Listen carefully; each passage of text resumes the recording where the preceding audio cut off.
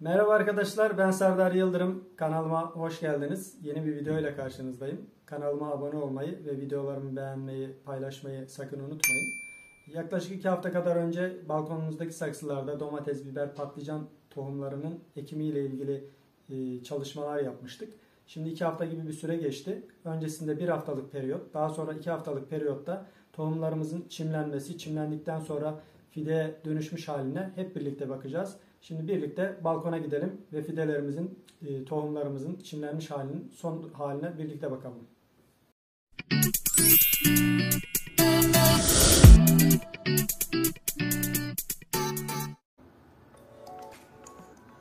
Evet aradan bir hafta geçti. Şimdi bir hafta sonucunda e, tohumlarımızın durumunu bakacağız. Ne durumdalar bir kontrol edelim. Önce domateslerle başlayalım.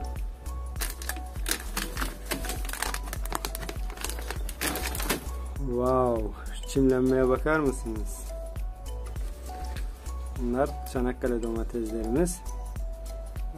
Evet bunlar da çimlenmiş. Bunlar da pembe domateslerimiz. Şimdi bunların üzerlerini teker teker açacağız, bir kontrol edeceğiz. Biberlere bir bakalım. Biberlerde henüz pek bir şey yok. Bunlar biraz daha nemli kalsınlar. Böyle.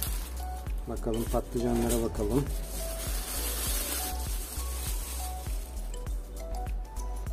Evet patlıcanlarda da henüz bir şey yok. Ee, yani tohum atma videomuzu çekerken söylemiştim biber ve e, patlıcan e, biraz daha geç çimlenen tohumlar ama domates daha erken çimleniyor. Sonucunda görüyoruz. Buradaki biber tohumlarımıza bakalım.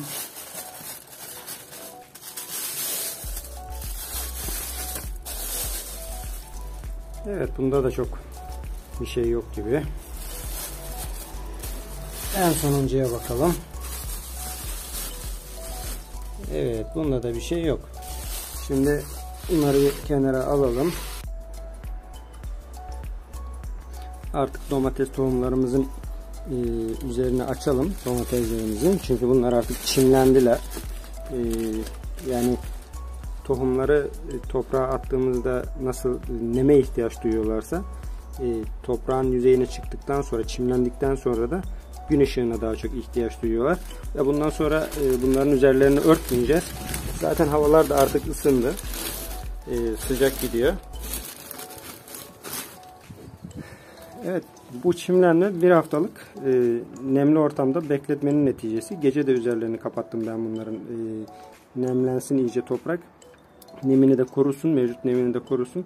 Çimlenme hızlı olsun diye. Zaten demiştim domates e, hızlı çimlenen bir tohum. E, bir haftalık neticedeki domateslerdeki çimlenme neticesi bu şekilde. Gördüğünüz gibi biberlerde ve patlıcanlarda henüz çok bir şey yok. Bunlar için e, biraz daha zaman var.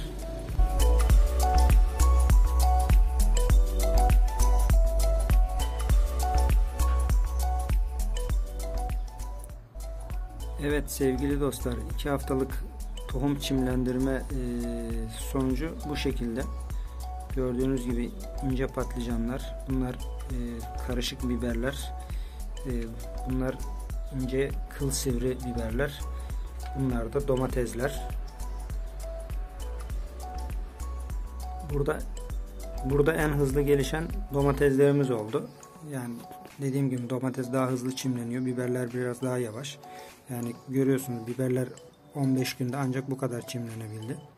Tabi şimdi havalar artık sıcak gidiyor. Ee, bunların büyümesi e, daha da hızlanacak. Gördüğünüz gibi patlıcanlar. Patlıcanlarda biraz zayiatımız oldu. Yani tam istediğim gibi e, çimlenmedi.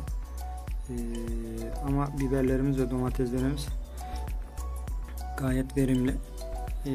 Yani Domateslerimizde özellikle çimlenme bol miktarda oldu. Yani biraz sık oldu. Bunları seyretmemiz gerekiyor. Yani yakında bunların bir kısmını viyollere alarak seyretme işlemi yapacağız. Ee, geri kalanını e, burada yetiştirmeye devam edeceğiz. Daha sonra da bahçemize aktaracağız. Evet arkadaşlar iki haftalık e, netice sonucunda e, domates, biber ve patlıcan tohumlarımızın çimlenme sonucunu gördük bu videomuzda. Yeni videolarda görüşmek üzere. Hoşçakalın. kanalımıza abone olmayı ve videolarımızı beğenmeyi unutmayın.